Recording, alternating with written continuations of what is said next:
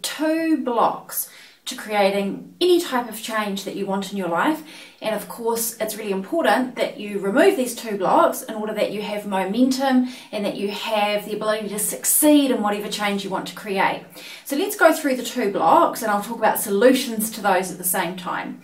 So the first block to creating change in your life is apathy. So apathy is a lack of concern, it's a lack of enthusiasm. It's that sense that you know something needs to change, but you kind of have this uh, kind of feeling about it. So sometimes I meet people and they want to invest in creating change and they want to have the conversation about creating change, but actually there's not a great deal of enthusiasm or urgency or commitment or strong intention to actually be involved and make the change happen. What it is, is that there's an intellectual understanding that something isn't right and an intellectual conversation going on. I should do something about this. I should probably do this or do that. I should probably stop doing this or that. Now, obviously, an intellectual understanding and that conversation is a really important starting point, but it is missing emotion. It is missing the energy, the drive, the get up, the go, the commitment that will take it from an understanding and a conversation into action, into commitment.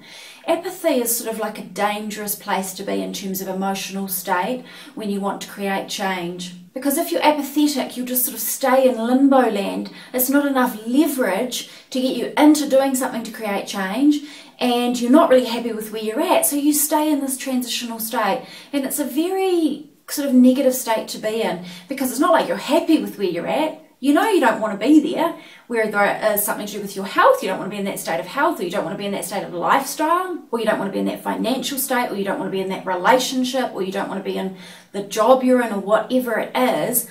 So you know that, and yet apathy will keep you kind of sitting in it, right? So, three states that it's okay to be in is a state where you actually enjoy where you're at, there's no problem, or you don't enjoy where you're at, but you're motivated and committed and intentional, and you've got energy and emotion that will help leverage you out, or you've already moved on and you're in a state you really want to be in. The other state you don't want to be in is apathy because there's nowhere to go with that. So if you're in a state of apathy, you know something should change. You will know because you'll hear yourself saying that I should do this, I should do that.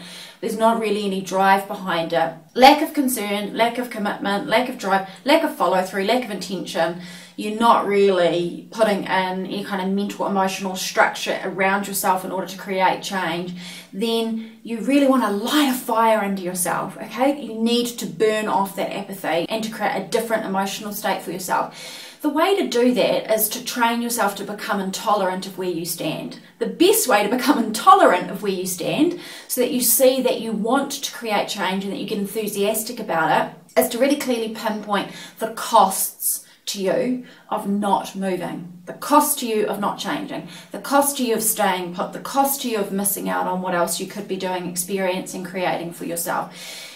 You need to feel a little bit of discomfort to burn that apathy. And that discomfort will come when you look at it really blatantly and you say, you know what? I'm apathetic about this at the moment, but I need to get real with myself because these are the things that this is costing me. This is the price I'm paying. And if I'm not paying it now, geez, I'm going to pay that price soon if I don't make a change. It's not being negative, it's being realistic and it's saying, do I want to wait for things to get worse? Do I want to wait for my health to get worse, my financial situation to get worse, my relationship to actually break down and end?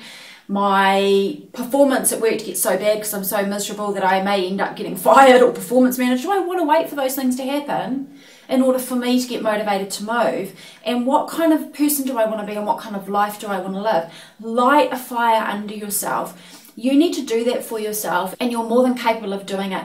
You want to get yourself out of apathy, you want to springboard out of that into a state where you get motivated and enthusiastic enough to take one action because once you take one action, you'll get a bit of momentum and that will start to help you get on a whole new trajectory and a whole new cycle. Now, the second block to creating change in your life, which is sort of related to apathy and is a real problem for a lot of people, is comfort.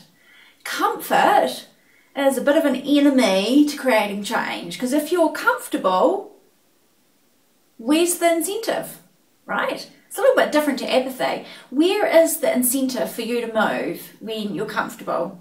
You know, you can kind of jolly along each day and things are okay. They're not great, they're not terrible, it's kind of comfortable. You're familiar, you're familiar with what you do, you're familiar with where you go, you're familiar with your patterns, you're familiar with the pain that comes from your patterns, you're familiar with all these aspects of your life. And when you're familiar and you're in a level of comfort with them, there's not a great deal of motivation. There's a reason why people overcome great odds. There's a reason why people that are in deep, dark, painful circumstances create powerful change because they're in such discomfort that they will do whatever it takes to get out of that pain and discomfort. I always say if you look at a bell curve, and you say here is deep pain and suffering on one end, which is kind of a small proportion of the population, and then you've got like real ecstatic happiness and everything in your life working, and you've got that other end, and then you've got this middle mainstream of society who sit in the comfort zone. The comfort zone is dangerous because there's not a lot of momentum, right? And people that are in deep pain and suffering, I don't ever feel deeply worried for those people because I know something about their state. If they're in deep pain and discomfort, they are actually in a far better position to springboard from pain and discomfort right past everybody that's in the comfort zone, way over here to sorting out their life and having happiness and peace and getting everything working the way they want because they've got leverage, right? Pain and discomfort are leverage. So, obviously, I'm not saying that you need to create pain in your life and you need to get rid of all your comfort. What you need to do is get real about it. Again, it's saying, you know what, I am a bit comfortable in here. I remember being like that in my own life. I had so much comfort that there was not really a lot of incentive to push myself, and yet I knew something had to change, and I had that conversation I really should do something. I really should start to create some change. I really should try something different because my intuition's telling me. But I was just way too comfortable. And you know what? I'll tell you right now, you can train yourself to get an action and you can train yourself to look at that comfort and go, it's comfortable, but is it fulfilling? Because comfort does not equal fulfillment. It doesn't. I know a lot of people who will tell you that comfort does not equal fulfillment, does not equal satisfaction, does not equal happiness. And so, if you are in comfort, all you have to do is say to yourself, Do I want a comfortable life or do I want to rock this life? Do I want a comfortable life or do I want to get soul aligned and really live? And do I want to sit on my deathbed at the end of my life and say, Yeah, I soaked up everything this life had to offer? Do I want a comfortable life or do I want to feel alive? Right? I know a lot of people have got comfortable lives that don't feel alive so I've given you two blocks to creating change in your life. If you are in a state of apathy or you are in a state of comfort, both of those are blocks to creating change. Now, you don't have to get yourself in discomfort. All you have to do is train yourself, light a fire under yourself so you move from apathy to motivation and enthusiasm. Light a fire under yourself so you move from being comfortable to saying, that's not good enough for me. I just don't want comfort. I want to feel alive and fulfilled. I want to take it to the next level. So, those are mental shifts training your mind, and that will bring about an emotional shift. And when you get the emotional shift, that is the foundation for creating change in your life in any area at all. So I hope this has been helpful. I'd love for you to reach out and let me know. Are you noticing you're in a state of apathy, or maybe you're a little too comfortable in your life? What are you going to do about that? Are you going to start training your mind that you can create an emotional shift so you can light that fire under yourself, get in the commitment, get in the enthusiasm, get in the state of concern that this is not where you want to be, give yourself that propulsion to move forward? I'd love to hear from you. Please do leave a comment. If this has been helpful, please give it a thumbs up and I'd love for you to subscribe if you're here on social media so we can stay in touch.